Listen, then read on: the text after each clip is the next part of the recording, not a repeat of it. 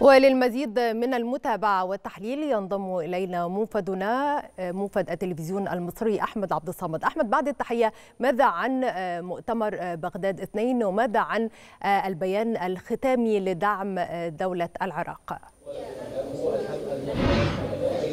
نعم دينا أسدل الستار على النسخة الثانية من قمة بغداد للتعاون والشراكة. هذه النسخة التي جاء البيان الختامي لها مكون من سبع فقرات رئيسية ربما أهم فقرة فيه بأن المتواجدون في هذه القمة اتفقوا على استمرار الدعم والتأكيد على مخرجات قمة بغداد واحد التي انعقدت في العاصمة العراقية بغداد من العام الماضي تحديدا في شهر أغسطس. منه هذه القمة التي أكدت هذه المرة أيضا على دعم العراق ومساندة العراق في التحديات التي يواجهها وبالتحديد حدوده الملتهبة. أيضا أكد الحضور على ضرورة أن يكون هناك إعمار وتنمية حقيقية والتصدي للملفات التي تواجه ليس فقط العراق ولكن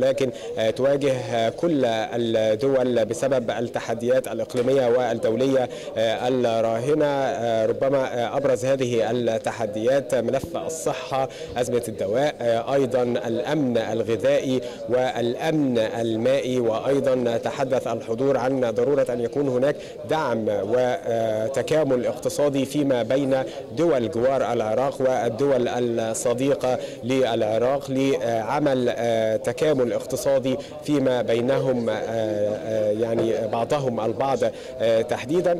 لكن على هامش هذه القمة قمة بغداد للتعاون والشراكة انعقدت منذ قليل قمة أيضا خماسية. هذه القمة شارك فيها السيد الرئيس عبد الفتاح السيسي رئيس الجمهورية والملك عبد الله الثاني ملك الأردن وأيضا الرئيس الفرنسي إيمانويل ماكرون ورئيس مجلس الوزراء الكويتي ورئيس مجلس الوزراء العراق رئيس مجلس الوزراء العراقي عفوا رئيس الوزراء العراقي كان مشاركا في هذه القمة. هذه القمة جاءت للتباحث والتنسيق فيما بينهم تجاه القضايا التي يعني هناك روابط مشتركة تجمع هذه الدول بعضهم البعض فيها. إذا تحدثنا عن أهم ما جاء في كلمات القادة المشاركين في هذه القمة قمة بغداد نعم. للتعاون والشراكة. نجد أن القاسم المشترك كان في هذه الكلمات هو التأكيد على دعم العراق التأكيد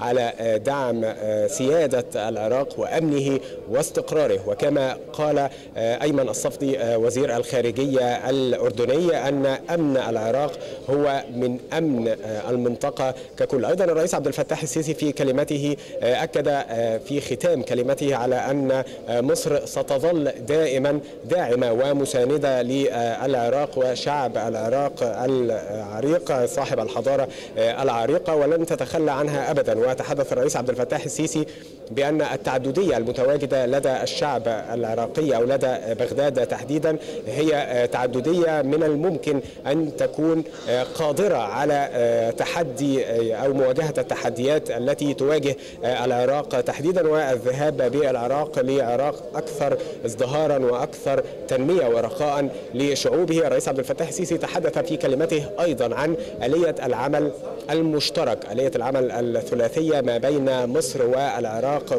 والأردن وأكد على المضي قدما في تنفيذ المشروعات التي تم الاتفاق عليها لتحقيق الازدهار والتنمية والرخاء لشعوب الدول الثلاث المشاركة في هذه الاليه آلية التعاون المشترك مصر والإمارات. مصر عفوا والأردن والعراق.